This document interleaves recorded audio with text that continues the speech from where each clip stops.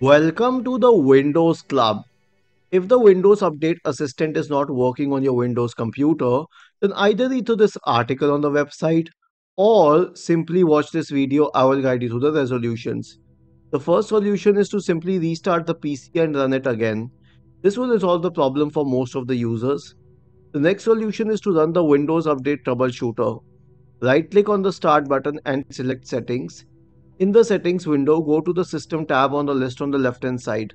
In the right pane, scroll down to Troubleshoot and click on it.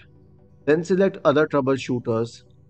Then, corresponding to the Windows Update Troubleshooter, click on Run. Next solution will be to clear the contents of the software distribution folder. Scroll down to solution number 3. Search for command prompt in the Windows search bar and click on Run as administrator to open the elevated command prompt window. Now we will copy and paste these commands one by one and I will explain the meaning of each command. This command will stop the Windows Update service. I'll copy and hit enter.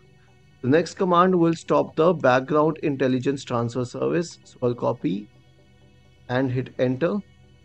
The next command will clear the contents of the software distribution folder.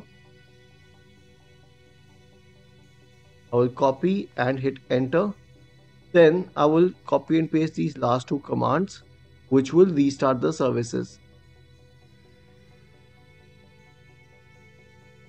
The next solution will be to run the network adapter troubleshooter.